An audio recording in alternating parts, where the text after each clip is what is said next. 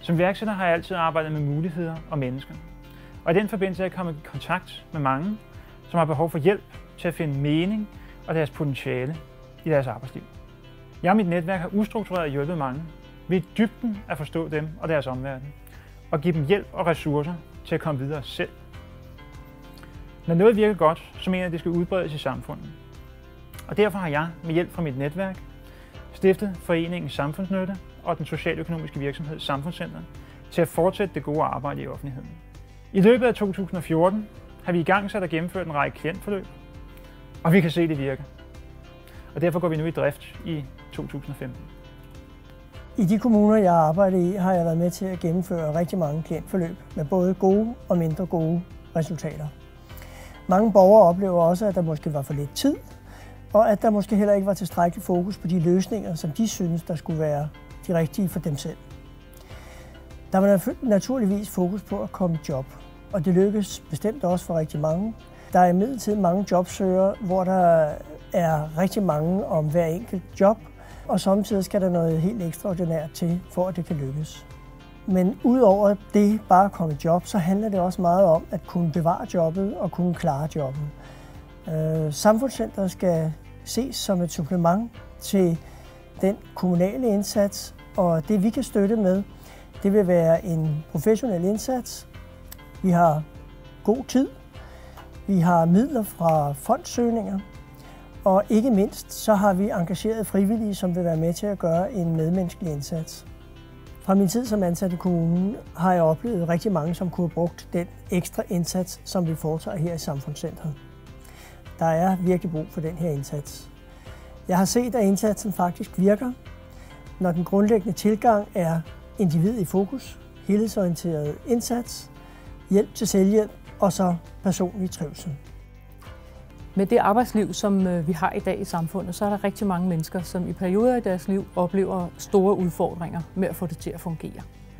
Her i Foreningen Samfundsnytte, der hjælper vi mennesker med at skabe et arbejdsliv i balance. Vi fokuserer rigtig meget på at hjælpe det enkelte menneske ud fra personens egne talenter, øh, egne ressourcer, egne ønsker og behov.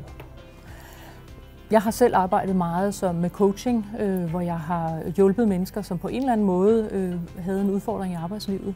Og øh, min erfaring har hver gang været, at, at der, hvor det kan være svært at gøre det selv, det er med at finde ud af, jamen, hvad er det egentlig, jeg gerne vil. Hvorfor er det, jeg er så frustreret med mit arbejde lige nu? Eller hvorfor er det, jeg bliver ved med at få nogle jobs, som jeg ikke trives i? Eller hvad det nu kan være. Der har man brug for nogle øh, andre øjne til at komme og hjælpe en på, og med at sætte fokus på, okay, hvad er det, jeg dybest inden egentlig gerne vil. Og øh, det er den ene del af det, jeg har oplevet, som, som folk har brug for hjælp til. Den anden del, det er det her med opfølgningen. Fordi det kan godt være, at man så finder ud af, okay, nu vil jeg gerne det her. Øh, og så sætter man det i værk, men, men man skal jo faktisk ændre sine egne vaner og øh, traditionelle måder at gøre tingene på. Og der kan man igen godt have brug for hjælp fra en udefra. Vi arbejder her i Foreningen Samfundsnytte efter en model, som øh, er meget baseret på nogle af de samme principper. Øh, modellen er udviklet sammen med psykologer og terapeuter, ja, der har også været et par filosofer inde og kigge på den. Og øh, den er opdelt i fem forskellige faser. Først og fremmest så er der øh, præsentationsfasen. Der øh, bruger vi tid, og vi bruger lige den tid, der skal til på, at vi kan lære hinanden at kende. Øh, som klient her får man en øh, kontaktperson, som følger en i alle fem faser. Og, øh, og med den her kontaktperson, så, så tager man så nogle møder, hvor man finder frem til, hvad er det, øh, hvem er jeg, og hvad er det, jeg egentlig er frustreret over eller har brug for. Det går så over i en fase 2, hvor man decideret laver en status. Den her status den vil bestå af, at man øh, har opsamlet alle de erfaringer, man har gjort sig, og så kobler vi nogle kræfter på med folk, som er vant til at hjælpe med at se på tingene på en ny måde. Det kan, på den måde bliver man lidt udfordret måske i sin egen selvopfattelse. Det kan være, at man synes, man altid har været en, der gør sådan og sådan. Men på baggrund af ens erfaringer kan øh, de udefra kommende måske se, at man også kunne være en, der gjorde sådan og sådan. Så det, kommer, det er del af, af det punkt, der hedder status. Så er der den tredje øh, del af planen, det, er, det hedder plan. Øh, for der begynder vi så sammen med dig øh, at lægge planen for, hvordan, hvad er det, du gerne vil ændre i dit liv. Det her tidspunkt, der kan man godt typisk have en to-tre forskellige spor, man kan gå i, øh, eller to spor, eller fem spor. Øh, og så hjælper vi også igen med udefra kommende kræfter på at kvalificere, hvad for nogle af de her spor vil være dem, der vil være, eller vil være det spor, der er bedst for dig. Og hele tiden, så vil det være dig, der vælger. Fordi vi arbejder ud fra princippet hjælp til selvhjælp. Så hvis du ikke føler, at det er en god idé, jamen, så bliver det ikke sat i værk. Fordi der er ikke nogen grund til at sætte noget i værk, som du skal lave, som du ikke synes er en god idé. Det lyder jo meget fornuftigt, men derfor kan det alligevel godt være desværre det, der sker mange steder. Men sådan arbejder vi meget målrettet på, at det ikke skal være. Det er dig, der det skal give mening for. Så er der målsætningen. Øh, det skal være sådan øh, rimelig klart for dig og også for os, hvad er det, der kommer ud af det her. Fordi hvis det, hvis det bare er sådan noget, der hvad skal vi sige, løser et lille problem, så, så når jeg om tre måneder, så står du i den samme situation igen, så dur det jo ikke. Så, så ambitionsniveauet skal op på et øh, vist niveau, men det, det hjælper vi med. Og så er der den sidste fase, der hedder opfølgning, og det er her, at din kontaktperson jævnligt vil følge op med dig.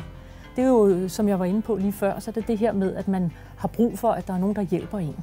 Øh, det kan være et klap på skulderen, det kan være lige sådan øh, meningen om, hvorfor var det nu, du valgte det der spor i forhold til de to andre? Fordi man kan godt blive i tvivl. Det kan også være lidt svært at ændre nogle af ens egne vaner, og så har man igen brug for, at der er en, der lige øh, holder en på sporet. Øhm, og det vil så ske over en periode, som vi aftaler nærmere øhm, med dig. Igen, det skal give mening for dig, så det bliver en langtidsløsning det her, øh, jeg forklarer nu, og den her model, vi har, den, øh, den er øh, baseret på, på de værdier, der ligger til grund for os som forening. Og det er, at vi siger, at individet er i fokus. Det handler om dig, og hvad der giver mening for dig. Planen er et redskab som hjælp til selvhjælp, sådan så du bliver bedre til at køre videre ud af det spor, du har valgt, øh, også når vi på et tidspunkt slipper. Så er det helhedsorienteret, for som jeg sagde før, hvis, øh, som et helheds, eller vi fungerer som hele mennesker, vi fungerer ikke som siloer eller i kasser. Øh, og så er den personlige trivsel rigtig vigtig, fordi hvis man får et arbejdsliv i balance, jamen så er det også et langtidsholdbart arbejdsliv. Så øhm, kontakt os. Du kan finde vores kontaktoplysninger på hjemmesiden. Øh, skriv til os, øh, og så, øh, så tager vi den derfra og, og ser, om øh, vi har mulighed for at hjælpe dig med dine udfordringer.